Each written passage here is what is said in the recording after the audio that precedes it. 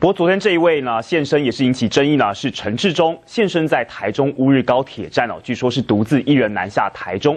根据了解是要到这个黄瑞静的娘家拜年，而晚间呢黄百禄呢到这个鹿港和朋友聚餐，他也证实女儿初二到初五确实有回娘家，而且还透露说这个黄瑞静高雄的新家就快装潢好了，年后入住，而且夫妇俩也开始努力找工作。宾士车一路往彰化路港开，坐在里头的黄柏路行程曝光了，一度下车板起脸孔，很不高兴。不用看了，我们车子没没有不在了，好不好？你们回家了啦。从台中开车到鹿港，黄百路一家三口是要参加朋友的聚餐。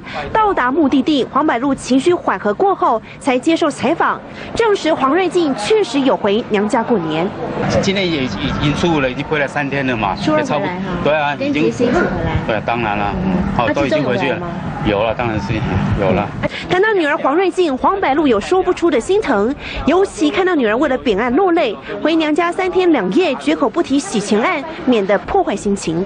都不谈，我们回家都尽量不谈。一谈那个那个，心情大大家心心情都会不好啊，都不都都不提了，啊，尽尽量就是这过年就就是让让他们怎么样。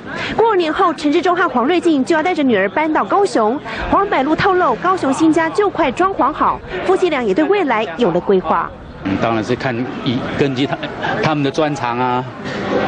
一定了，有在群里了，对不对？有有了，有有有朋朋友应该也也也也会帮他们在。